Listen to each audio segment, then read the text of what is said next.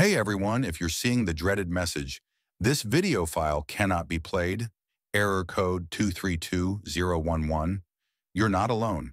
This issue is surprisingly common and usually tied to browser problems, cache issues, or even interference from extensions. But don't worry, we're going to walk through simple and effective solutions to fix it once and for all. Solution 1. Clear your browser cache and cookies. The first thing you should do is clear out your browser's cache and cookies.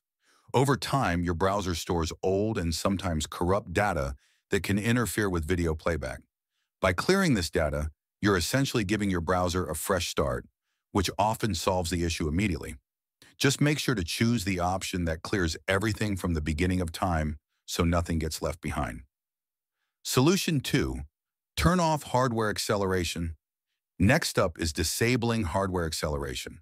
While it's designed to improve performance, hardware acceleration can sometimes clash with how videos are rendered, especially on older or misconfigured devices. By turning it off in your browser settings, you give your system a chance to handle video playback differently and more reliably. Solution 3. Remove or disable problematic extensions. Browser extensions might seem helpful, but some of them interfere with video loading scripts or block essential web elements. If you have ad blockers, script blockers, or even VPN extensions enabled, they could be the culprits behind the error. Disabling them temporarily and testing video playback can quickly help identify what's causing the conflict. Solution 4. Reset browser settings to default.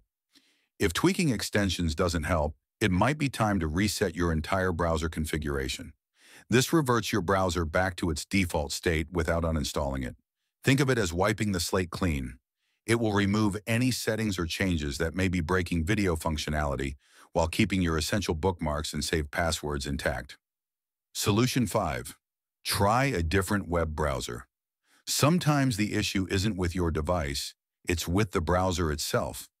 It could be a compatibility bug or a temporary glitch.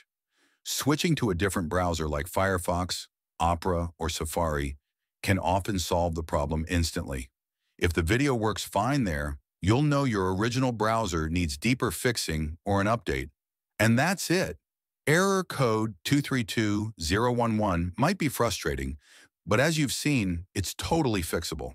Whether it's clearing cache, adjusting settings, or trying a new browser, one of these solutions is bound to work for you.